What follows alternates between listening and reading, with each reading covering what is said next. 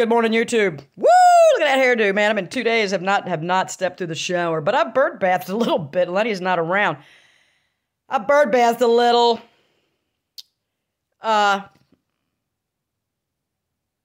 the dog. Uh, yeah, this dog. I, so anyway, I, I was in dreamland, dumber than a rock. Sometimes I swear, I look in the mirror and go, "How could I miss this?"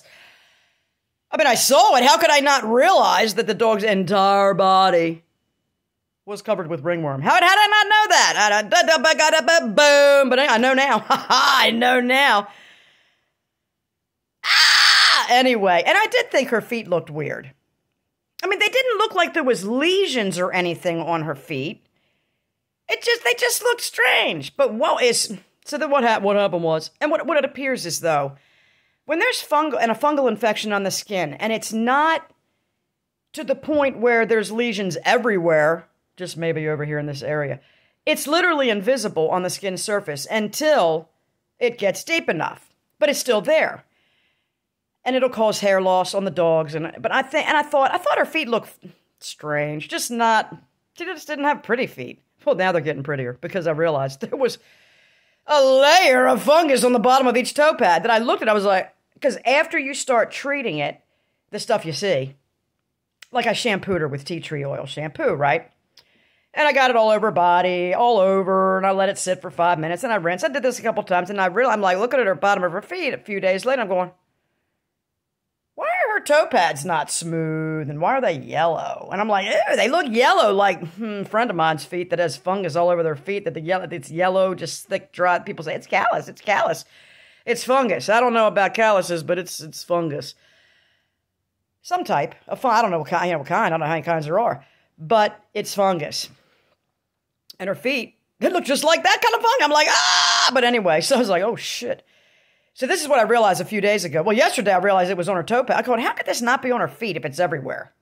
It's under her throat because, and then I realized it was so thick under her throat because she was scratching with the foot that had the. And I'm going, oh, So I'm back in the tub with more of this. So then I, I, realized, I said, oh shit. Lenny's like, bring out the colloidal silver. Holy shit. But she was already drinking some because she had a relentless bladder infection. I'm going, oh shit, I can't. Why does this pus keep intermittent out of her pee pee? And why is she peeing on the. Anyway, we got it. We got it. Yeast fungal detox by Nature's Sunshine. I found I was like, what can I give her? I'm thinking olive leaf extract. Like I wanted to give her something internal for the ringworm because as I shampooed it where it was obvious on her back, you could see the bare skin and the flakes on her back. I'm like, all right, it's all running down her back. We'll get it. But I shampooed her all over. well, where it was invisible at the time, several days after being treated with tea tree shampoo, it reared its angry, ugly head all over. You could see the lesions being angry because I hit it with tea tree oil and then making themselves obvious. And I was like, oh, because Lenny's like, what are those marks on her belly? And I was like, oh, shit!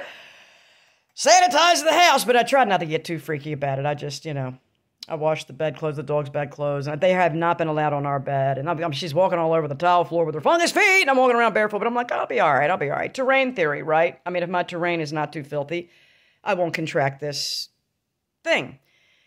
So far, nobody's got it.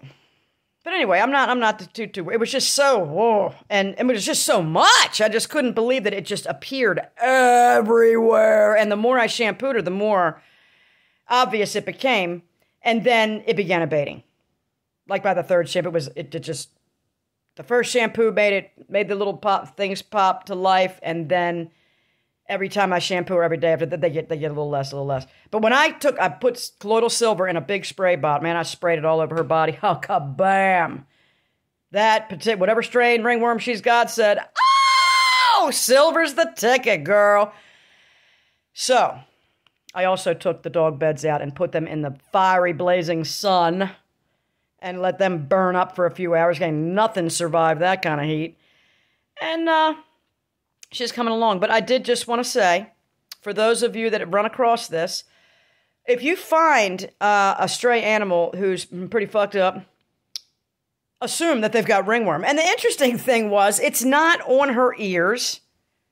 Like there's no lesions. Like her hair is very thin all over her body. Like she's bald, she's bald. Her ass end is bald, but there was no. But now the hair is growing back like crazy.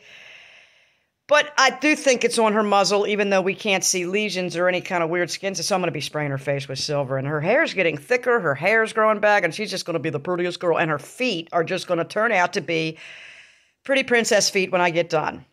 I should make a little video clip of it with the color of her toe. I just, this is kind of informative for people that just never ran into this but we're Like, what is this? And oh my God. And like, I went online to look and it's like, oh, if you have a dog with, I gotta quarantine the dog and it's recommended that you wear a mask and gloves. And I was like, really? Really? If it was that contagious, every dog would have it everywhere. So I realize that it's contagious, but at the same time, I'm just going to shampoo Georgie every day with tea tree shampoo.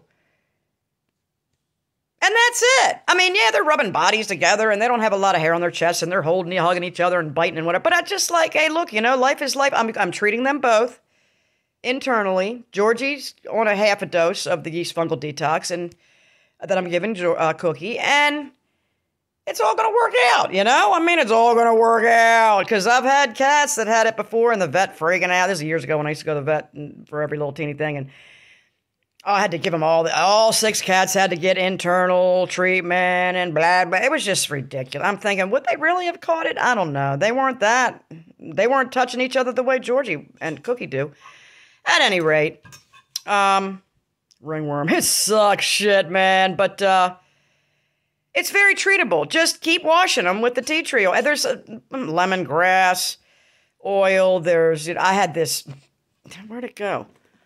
Here it is this stuff from Wondercide that I it didn't help Georgie a damn bit last year. Not a single bit did it help her skin at all. But this year, it's got the ingredients that kills the fungus. Because see, Georgie didn't have fungus, right? I don't know. It has neem, lemongrass, cedar. Anyway, fabulous ringworm. It, it doesn't mention ringworm on there, probably because it's not allowed to. Because you can't say that it cures ringworm. Oh, it's against the law to say something like that.